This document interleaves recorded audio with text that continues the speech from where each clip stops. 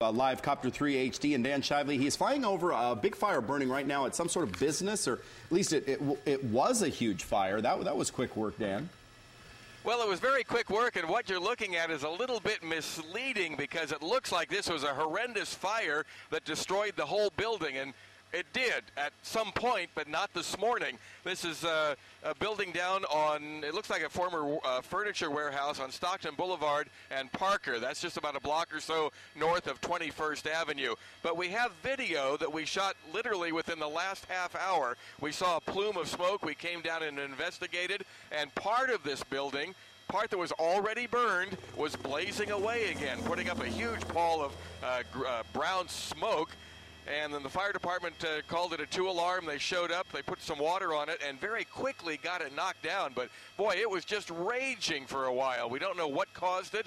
As I say, this uh, building was already pretty much destroyed by fire, but something ignited inside that was left over, and it looked really bad. And when you look at it now back live, it looks like uh, the whole building was destroyed. Well, it was destroyed before.